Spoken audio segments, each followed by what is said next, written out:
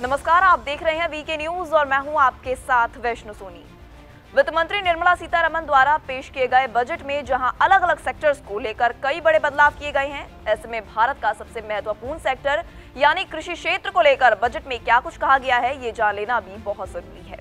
क्योंकि गौरतलब है कि भारत की 70 प्रतिशत आबादी कृषि पर ही निर्भर करती है। ऐसे में बजट में कृषि क्षेत्र को लेकर क्या घोषणा की गई है, किसानों को कितनी रियायत मिली है, ये जानना बेहद ज़रूरी हो जाता है। तो आपको बता दें, अपने बजट भाषण में निर्मला सीतारमन ने किसानों की बेहतरी के लिए तमाम ऐलान किए हैं। निर्मला सीतारमन ने कहा, कृषि से जुड़े स्टार्टअप को प्राथमिकता दी जाएगी। युवा उद्यमियों द्वारा कृषि स्टार्टअप को प्रोत्साहित करने के लिए कृषि त्वरक कोष की स्थापना की जाएगी।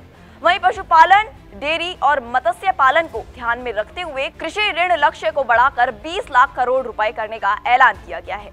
सिर्फ़ इतना ही नहीं वित्त मंत्री ने आम बजट में मिलेट्स की पैदावार में इजाफा करने का भी ऐलान किया है। मिलेट्स को उन्होंने श्री अन्न नाम संबोधित करते हुए कहा, इसके लिए हम किसानों को प्रोत्साहित करेंगे।